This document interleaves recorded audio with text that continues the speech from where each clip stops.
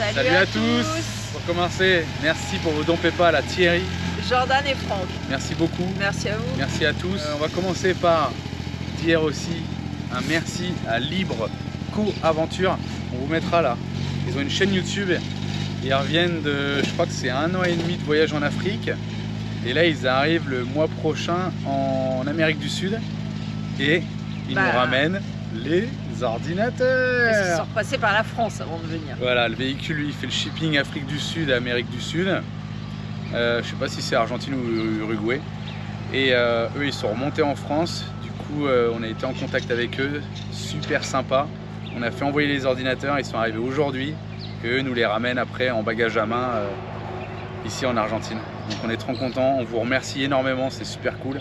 Parce qu'il était temps, l'ordinateur, on est obligé de le laisser brancher en Ça y est, là. permanence. Ça y c'est la fin là. Donc euh, non, c'est vraiment cool. Donc n'hésitez pas à les suivre. Libre Co-Aventure sur YouTube. Et on vous attend pour la Sado. Allez, dans cette vidéo, Je vous présente les ruines de Quilmes avec l'histoire des Quilmes.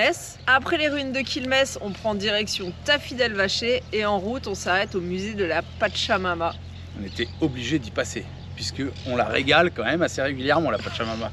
Et franchement, le musée est magnifique. Ça a été euh, pensé par un artiste. D'ailleurs, c'est son Mais musée vous verrez privé. ça dans la vidéo, Marie. T'expliques tout dans la vidéo.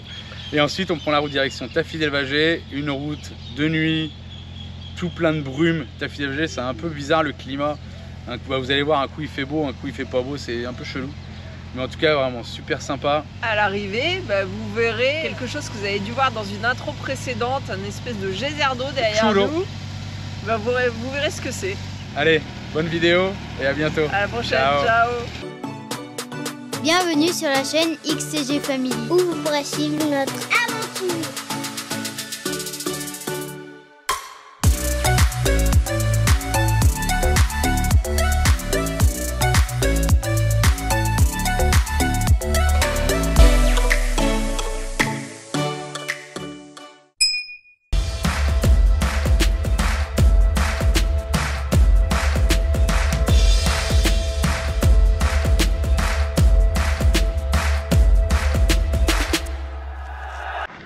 Bon allez, petit réveil tranquille. Et ce matin, on va visiter les ruines de Quilmes qu'on voit au loin là-bas. Allez, on va voir les ruines de Quilmes. Ça coûte 400 pour les adultes, les enfants n'ont pas payé. Il y a un musée à voir en plus des ruines, donc euh, on va partager ça avec vous. Regardez les petits lamas. Un gros caniche. Il. Oh là, il a préparé un molar lui, hein Et lui. Il va tomber là. Hein. Putain, la laine qu'il y a, c'est énorme. Vas-y, euh, Manon, caresse-le. Non. Que façon, Manon? Va me cracher dessus. Oui, là. Não, aí, não, não. Não, então, se alguém para a foto, não te vai ser nada. Non, il crache pas celui-là. Il est hyper gros. Lui, il va sortir du magasin, on dirait. Non, il est gentil. Oh, il fait un bruit bizarre. quand même. Il prépare. Regardez le bois de cactus. On n'a pas ça en France, il y en a beaucoup ici. Ils le vendent, ils fabriquent des choses avec. Regardez la taille du tronc du cactus, vous en pensez quoi? Il y a plusieurs centaines d'années, peut-être même. Qu'est-ce qu'il fait? C'est pas une photo. Peut-être même des milliers d'années, allez savoir.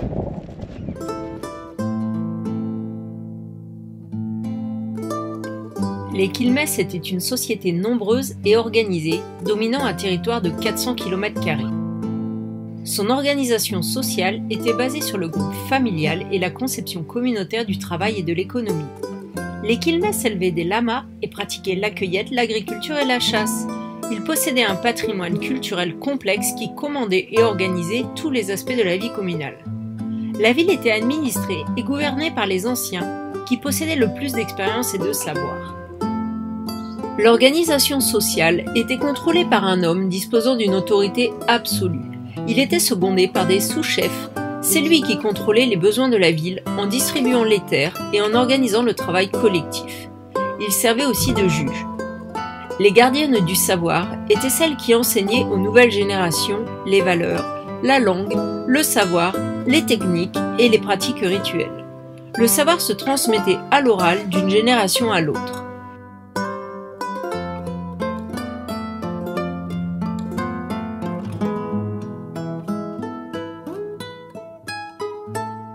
Les Quilmes étaient vêtus de tuniques, d'un bandeau sur la tête et de sortes de claquettes de cuir.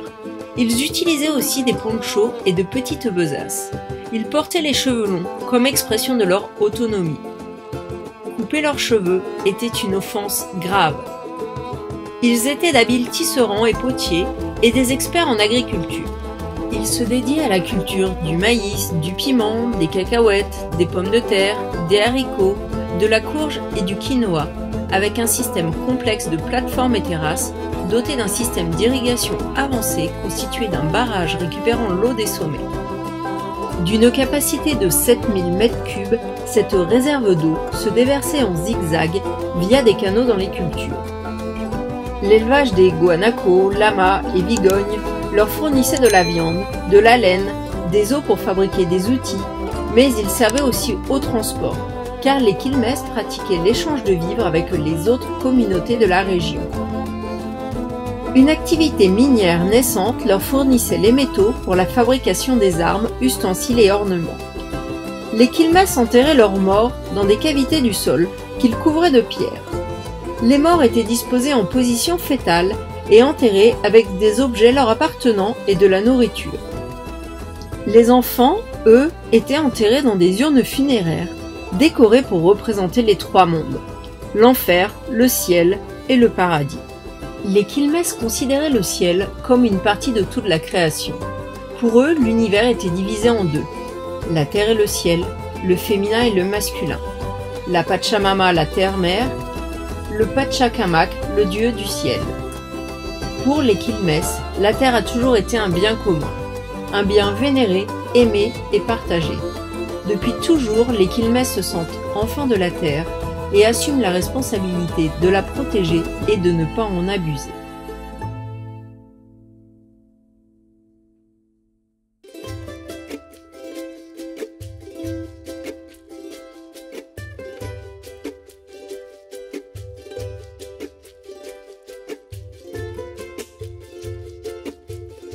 Des constructions circulaires servaient au stockage de ce qui avait été moulu ou cueilli, dans de grands récipients stockés contre les murs ou en silos. Trois types de mortiers étaient utilisés pour moudre les graines. Le mortier à percussion, le mortier à friction et le mortier va-et-vient.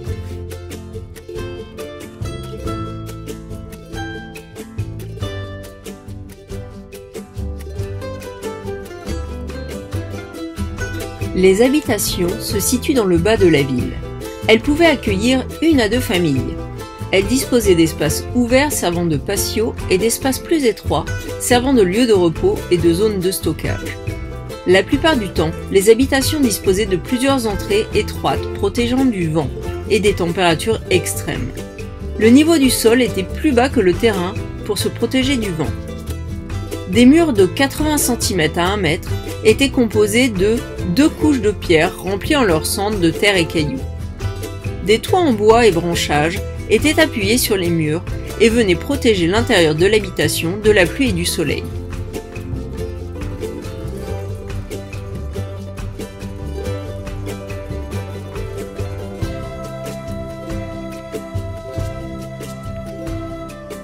Pour se préserver des attaques des envahisseurs, des forteresses furent construites sur les crêtes difficilement accessibles pour surveiller leur territoire et prévenir de l'arrivée des ennemis. Des murs furent édifiés pour se protéger des projectiles ennemis et du vent. Ces constructions pouvaient abriter les habitants en cas de guerre prolongée.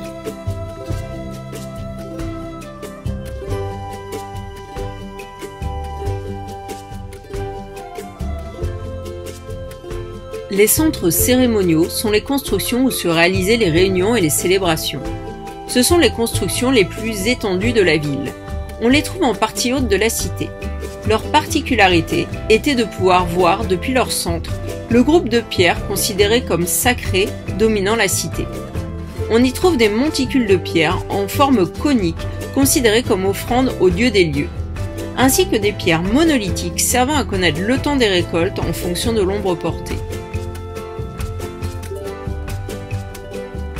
Connaissez-vous l'histoire des Quilmes Il y a environ 1200 ans, le village des Quilmes s'établit dans la vallée Kalchaki. Les restes archéologiques démontrent qu'ils y ont vécu en continu durant plus de 600 ans. En 1480 commence l'invasion Inca. Les Quilmes les affrontent durant près de 60 ans, mais les villages de la vallée furent soumis un à un et contraints d'apprendre la langue quechua, de payer des tributs aux Incas et d'accepter leur présence. En 1536, le premier espagnol pénètre le territoire d'Iaguita. Durant toute la période de la conquête espagnole, ils ne réussirent pas à s'implanter dans les vallées Calchaquí, refuge de la culture diaguita. Les Quilmes se défendirent vaillamment contre les Espagnols, mais le 26 octobre 1665, c'est la fin. Après 130 années de résistance, les Quilmes sont déracinés de la vallée Calchaquí. En punition à leur résistance, ils furent contraints à une marche de 1300 km depuis Tucumán jusqu'à Rio de la Plata.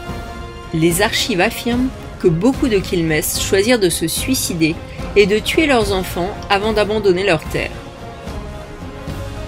Au début du XVIIIe siècle, des 800 Quilmes emmenés en capture à Rio de la Plata ne restaient que 200.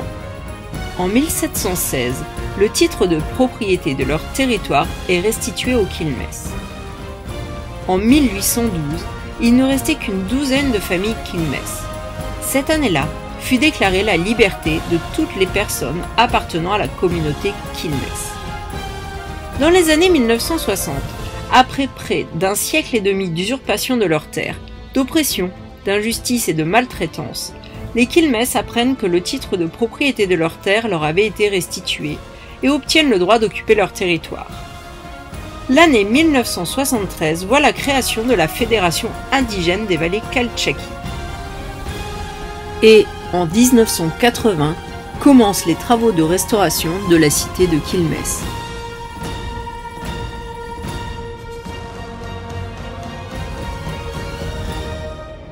On s'est arrêté à Amaicha del. C'est euh, ici qu'il y a un musée de la Pachamama. Alors pas seulement, c'est aussi un musée géologique. Et il y a pas mal d'artisanat aussi. Là, c'est des ocarinas. Moi, j'adore les petites assiettes. Alors, le propriétaire du musée et aussi l'artiste qui a dessiné tous les dessins que vous voyez dans le musée s'appelle Crous. C'est quelqu'un du village ici et c'est son musée privé. J'ai l'impression qu'il y a quelque chose à voir parce que j'ai entendu des waouh Dommage, elle est vide. Ouais, parce qu'on rentre en automne, alors ils ferment tous les piscines. Putain. Il fait toujours euh, plus de 30 degrés, mais les piscines sont fermées et vidées. Ouais, c'est une galère. Cette sculpture de Dieu, avec le visage tourné vers le ciel, appelle la pluie à venir pour les cultures.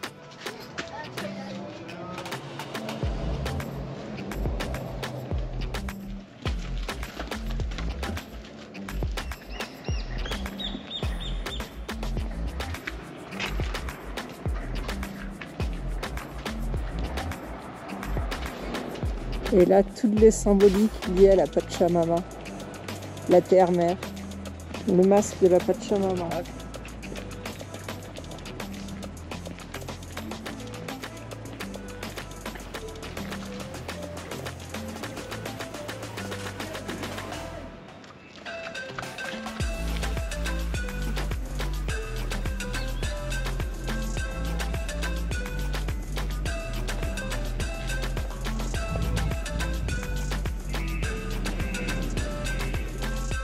Le gardien protecteur du dieu Luna. Regardez bien sous son bras, il y a un petit d'avispa. Et là aussi.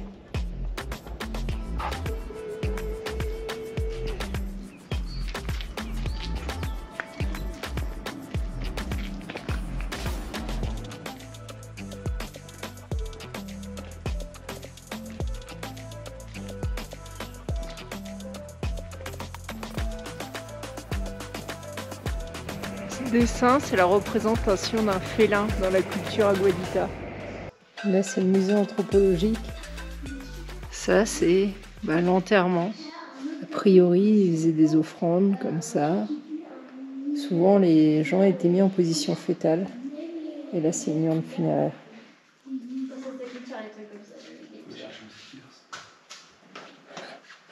Là, c'est les offrandes à la Pachamama, c'est ça? Ça, dans un musée en France, sans surveillance, il n'y a plus d'oseille.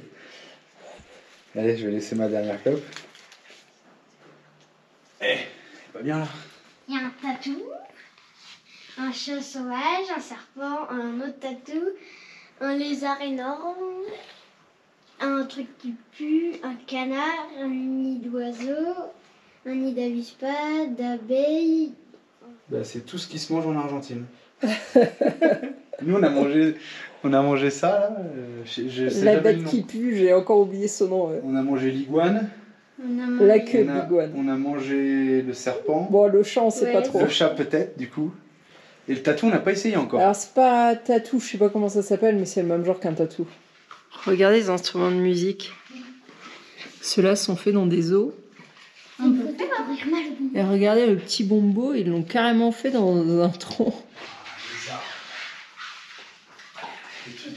Alors il y en a beaucoup qui utilisent des épines de cactus aussi pour euh, tricoter.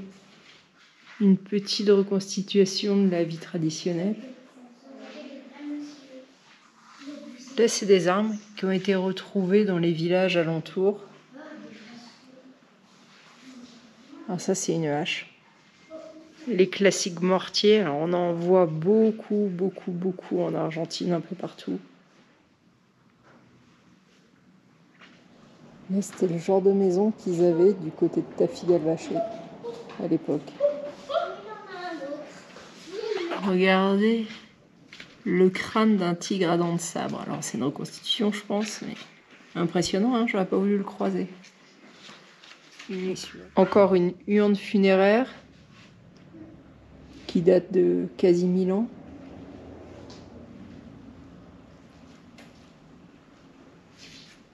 Et là, une reconstitution de ce à quoi ressemblait un village.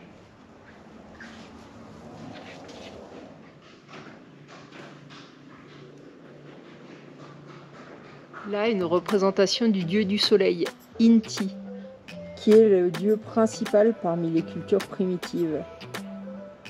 Et au centre, on voit l'eau, puisque la croyance était que c'est lui qui a apporté l'eau et donc la vie. Et dans l'eau pouvait se refléter Kila, le dieu de la lune, la gardienne de l'univers féminin et de la vie à travers l'eau. Ici, on a la représentation du chaman. Le chaman, c'est euh, une espèce de sorcier qui a des pouvoirs surnaturels. Ici, c'est une représentation du serpent à deux têtes. C'est le dieu de la lumière et du feu, avec une tête qui regarde le ciel et l'autre qui regarde la terre. Et ça montre la dualité du monde d'en haut et du monde d'en bas. Cette sculpture représente un homme et une femme. La boule au centre, ça représente le ventre de la femme. Cette sculpture représente le gardien de la lune. Ce gardien, il veille au cycle lunaire et il détermine à quel moment on peut semer. C'est aussi lui qui contrôle les phases de la lune et le cycle de fertilité des femmes. On voit la forme de demi-lune, de demi-lune. Regardez, une petite échelle du temps. Hop, des lézards. Ensuite sont arrivés les dinosaures. Ensuite, on est sur les mammifères. Jusqu'à arriver à l'homme. Allez, un petit peu de géologie. Dans les roches qui existent, les plus connues, ça va être les roches sédimentaires. C'est tout ce qui se dépose au fond de la mer ou au fond des lacs. Il y a évidemment les roches volcaniques qui, elles, sortent à la surface. Il y a les roches plutoniques, elles qui viennent du profond de la terre mais qui ne sortent jamais à la surface, comme le granit et ces choses-là. Et il y a les roches métamorphiques qui peuvent venir des roches plutoniques ou des roches sédimentaires et qui se transforme en fait par un effet de pression et de température.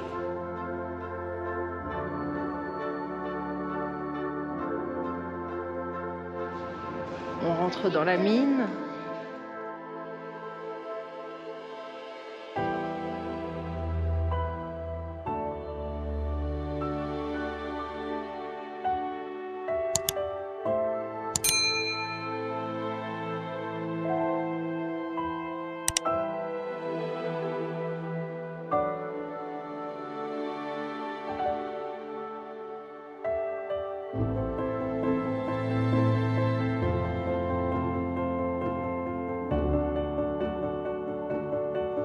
rhodochrosite, c'est cette espèce de pierre euh, rose qui, quand on la coupe, en fait, a des petites formes sphériques comme ça. C'est considéré comme étant la pierre typique d'Argentine. Et voilà, la rhodochrosite, et ben, ils font des beaux bijoux à partir de ça. Là, on a essentiellement du quartz, quartz fumé, quartz rose, quartz jaune, citrine. Et là, le bâton noir, c'est la tourmaline. Il y a même une pierre pour Julien. Espectacularita. Volcan azul, province de Tucumán, la muscovite ou le mica. Ils en faisaient des fenêtres pour les poils parce que ça résiste à la chaleur. Du soufre, on a été jusqu'à la mine.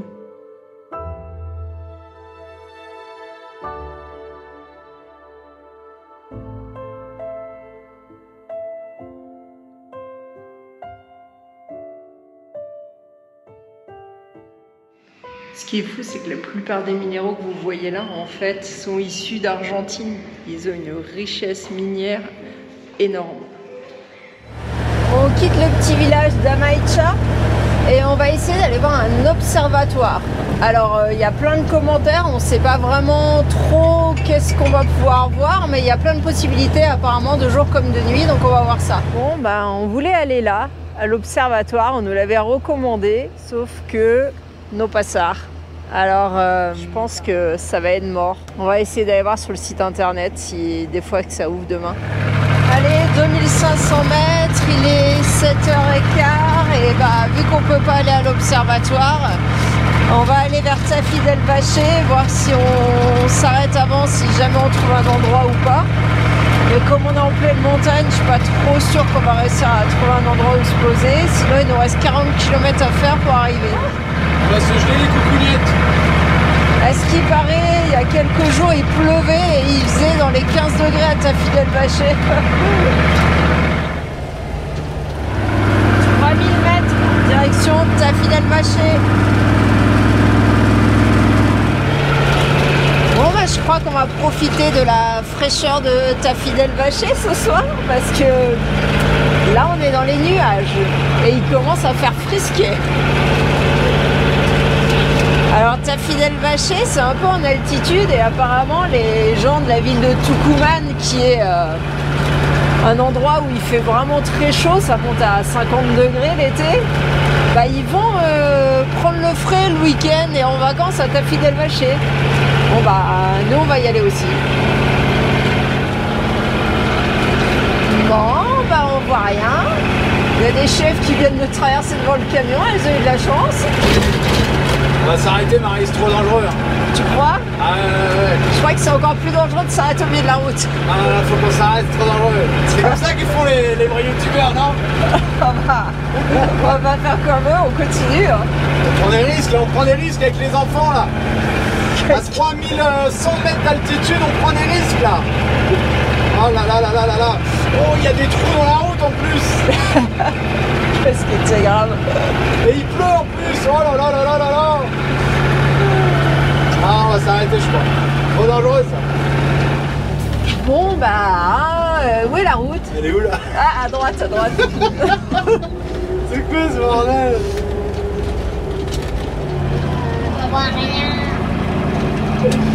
Alors tout à l'heure, il y avait carrément la route qui était mangée par un éboulement. Il y avait juste une petite cocotte. Alors euh, là, faut quand même qu'on guette les cocottes des fois qu'il y a d'autres Ouais, éboulements. c'était pas des cocottes, c'est une bouteille d'eau. Ah, c'était une bouteille d'eau. Ouais, non, mais ici c'est pareil. Hein. Trois cailloux, une bouteille d'eau, ça fait une cocotte. hein. On voit plus la route. Avec la coco, on la voit la route. Oh là, 30 km/h. Voilà, non, là c'est pire. Des fois, il n'y a plus de ligne jaune au milieu, là, on sait même plus où est la route. Bah, quand il n'y a pas de ligne blanche sur le côté, bah, c'est pire. On va s'arrêter Marie, on va s'arrêter, trop dangereux là. Hop, hop, hop, hop, hop. Il nous reste 18 km. Ah bah, une demi-heure pour les faire alors. Warning. Alors, il y a, y a une- un warning. Attends, il y a quelqu'un d'arrêté. Ah bah oui, il se couvre. En même temps, on se gèle. Moi aussi, je suis en train de mettre un pull. On ne voit rien du tout, à part la lampe à Marie qui reflète. C'est vrai. Bon, chevaux. Heureusement, on les a vus. Qu'est-ce qu'il faut sur la route aussi, sérieusement? Yes. 11 km. on va y arriver un jour ou l'autre. Hein. Attention. Ah, encore un cheval Oh, il y a du warning là-bas. On arrive à Taffy del Vacher. Ouais. Et il y a presque plus de brouillard. C'est parti Allez, encore un des chevaux Oh bah il y en a un paquet là, dis donc Ils dorment là.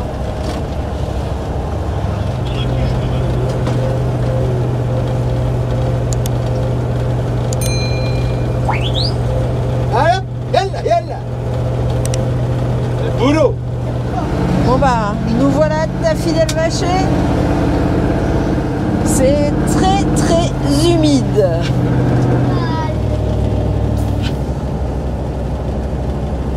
Ah mais ici, il y a des chevaux partout le long de la route, c'est bizarre. On lève la tête quand le man 4 passe, s'il vous plaît. Allez, on va lui faire lever la tête. Hop, on est là, coucou Taffy del Vacher, c'est super grand en fait. Je m'attendais pas du tout à une ville aussi grande. Ah, c'est immense. La ville, elle est hyper étendue. Voilà, ça tord. Et ça continue encore euh, dans la montagne par derrière là. Bienvenue à Taffy del Vacher, sous la pluie. Nous voilà à Taffy del Vacher, on cherche un endroit où se poser. Bon, ouais, voilà. Bah, ce soir, c'est picada. On s'est acheté fromage de chèvre, fromage de vache à l'origan, provençal, saucisson de Lama. lama. Celui-là, il traversera pas dans le camion. Confiture de figue de barbarie. Hum, coulard. Et puis bah voilà quoi. On va s'arrêter là tranquille pour cette soirée. De bon matin. Les militaires s'entraînent dans la rue.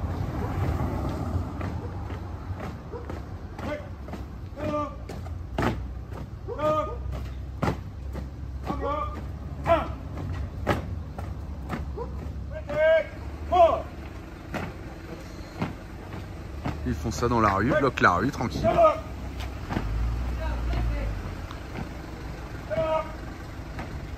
Bon allez bah du coup on a dormi là, bien en pente. on a mis notre petite calme mais bon, au moins on était dans le centre ce matin là pour profiter là d'ici là. Bon ça y est tout est fermé, là. il va se faire de la sieste là. Et là on va au lac, il y a un petit lac là on va aller voir et on fait une interview télé normalement je crois on a été contacté, on va voir. Bon, alors Marie qu'est-ce qui se passe? Ça fait 4 jours que t'es malade? Ouais, ça fait 4 jours, on a été invités et euh, je sais pas si c'est la nourriture ou l'eau. Je pense que c'est plus ça qu'une gastro.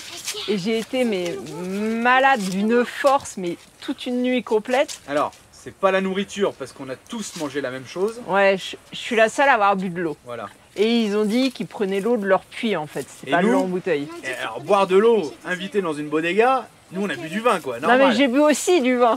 Donc ça peut être le vin, j'en sais rien, mais t'en as bu aussi. Bon. Et donc, t'as été à la pharmacie tout à l'heure Non, là ça fait 4 jours et j'ai toujours mal au ventre, je me vide toujours. Enfin, je suis euh, vraiment pas bien depuis 4 jours. Et à la pharmacie, je dis Vous avez pas un truc pour soigner ça? Elle me dit Non, vous allez à l'hôpital, c'est gratuit, puis il va vous donner les médicaments. J'ai dit Mais je voudrais acheter un truc. Elle me dit Non, non, vous allez à l'hôpital. du coup, bah, je suis venue à l'hôpital. Et euh, bah, j'ai été reçue tout de suite par un médecin. Ils m'ont même ouais. pas enregistré dans le système. Parce que euh, comme je suis étrangère, bah, je ne vais pas apparaître dans leur système. Donc ils m'ont direct fait passer avec un médecin. Et le médecin, il, euh, voilà, pour lui, c'est c'est une tourista ou quelque chose comme ça. Du coup, euh, piqûre là, piqûre là, pour euh, arrêter euh, les vomissements et les douleurs, parce que j'ai vraiment mal au ventre depuis 4 jours. Et euh, il a dit la diarrhée, ça, euh, ça va passer euh, tout seul, faut que votre corps élimine ce qui n'a pas été quoi. Et combien t'as payé l'hôpital? Bah j'ai pas payé. Eh, spectaculaire, Argentina Voilà, les soins sont gratuits pour les Argentins et les étrangers. On vient d'en Dans faire- en les la- hôpitaux publics. On vient d'en faire encore la preuve. Ouais, Et en plus, t'es parti quoi du camion 10 minutes? Ouais, maxi. Allez, on repart. Regardez. Il largue euh, le barrage. Allez, on va en bas.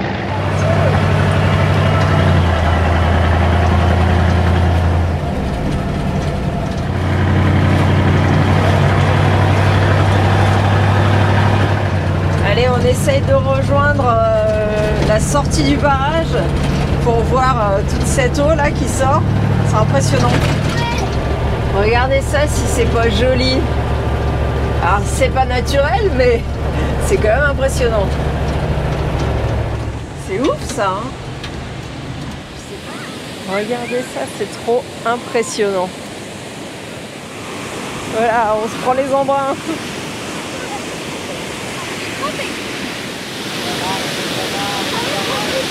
Impressionnant. On aperçoit un peu le tuyau au milieu de, au milieu de l'eau, mais c'est fou la pression. Eh, Il y a du débit parce qu'il y a du courant là hein. Et moi qui me disais j'aimerais trop voir ça parce que je l'avais vu sur Google, mais je savais pas que c'était là. Bébé, je t'emmène toujours dans les endroits magnifiques.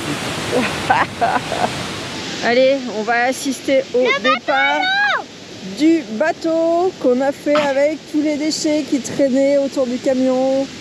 On teste le bateau au port dans un premier temps. Allez, capitaine Alicia.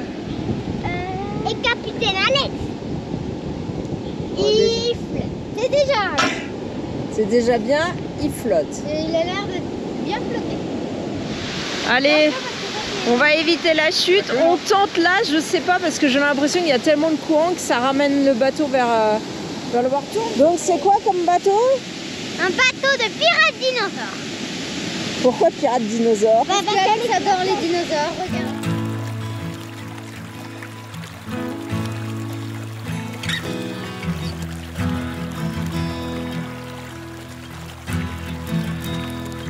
What's left to wait for here? My eyes are asleep. I miss you.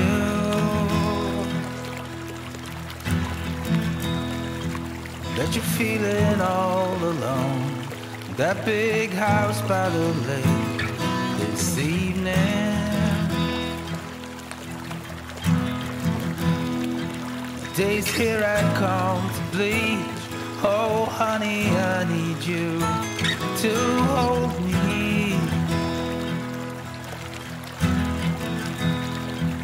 Let's brave the crushing waves in a boat made of roses and oak trees. Little star shining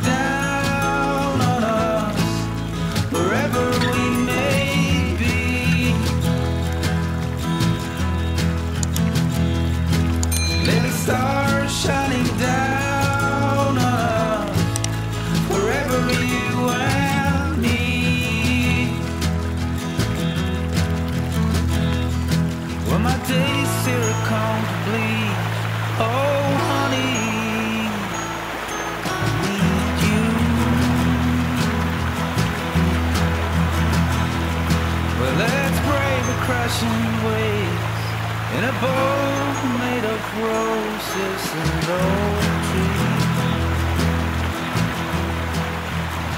In a boat made of roses and oak trees.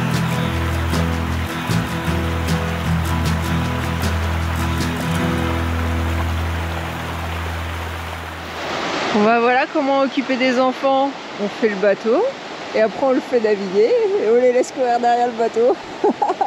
Soit on va aller se prendre un petit apéro, je vais rejoindre Julien. Allez, c'est pas la vue du matin, C'est la vue du soir, on voit rien. On dort face à la sortie d'eau du barrage. Bon, on fait confiance aux Argentins, on espère que le barrage tiendra le coup cette nuit. Allez, j'espère que cette vidéo vous aura plu. Ciao ciao En attendant la prochaine vidéo, vous pouvez aussi nous suivre sur Instagram et Facebook.